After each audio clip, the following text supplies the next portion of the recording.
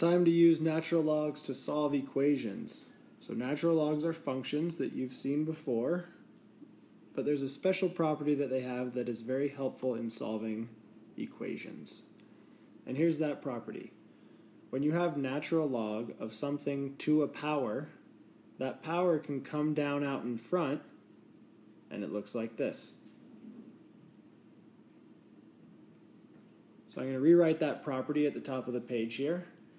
And I want to solve for x. We're going to use this property in a second, but I think first off, we could probably guess and check. 2 to the x equals 16. What power can you put on 2 to get 16? Yep, 4. So there it is. There's our answer. That's what we know we should get.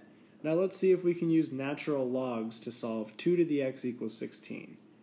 Here's what you do. You take natural log of both sides. It's an equation, so whatever you do to one side, you have to do to the other side. So you slap a natural log around both of those. The property of natural logs up in the top left there allows you to take that x and bring it down out in front. So let me rewrite this.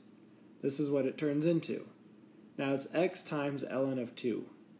ln of 2 is just a number, so you can divide by it, and this is what we get for x. Now you slap that into your calculator and you get 4. There's a natural log button on your calculator, so that's what you're going to use. Now here's a common mistake I see. When solving 2 to the x equals 16, people know that they need to use natural logs, but they use natural log on the left side on one side, and then they do it on another side over on the right there. You never write the natural log after the parentheses. That's bad news. Natural log is a function, you always write it before the parentheses. You would never write parentheses x of f or something like that when you really mean f of x. You always write the function before the parentheses. So here is how it should look.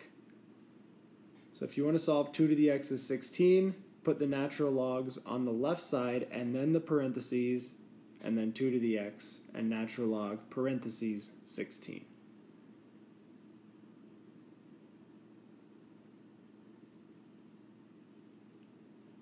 Alright, your turn to solve for x using natural logs and your calculator.